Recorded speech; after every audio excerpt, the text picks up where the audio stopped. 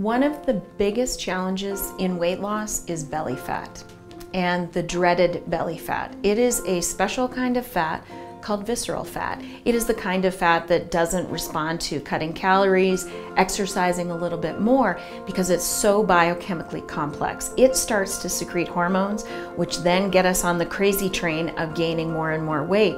With visceral fat, knowing body composition is an incredibly important place to start.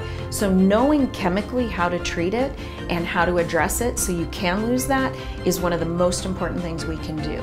And it actually sends out inflammatory hormones. So if you have chronic inflammation and belly fat, we know that that process is advanced in you and treating it is what we do.